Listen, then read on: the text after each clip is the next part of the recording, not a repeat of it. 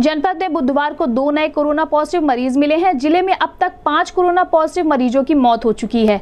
ऐसे में ज़िले में संक्रमितों की संख्या बासठ हो गई है। वहीं 11 संक्रमित मरीज़ ठीक होकर डिस्चार्ज हो गए हैं। अब ज़िले में छियालीस कोरोना एक्टिव मरीज़ हो गए हैं। आपको बता दें, संक्रमितों में एक सरदार नगर के रामपुर रकवल और दूसरा बड़हलगंज के चैनपुर गाँव का शामिल है।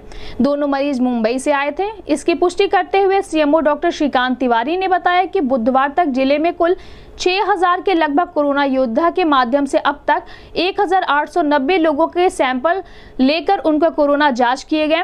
232 लोगों की पूल सैंपलिंग की गई और थर्मल स्कैनिंग छियानवे लोगों की की गई है।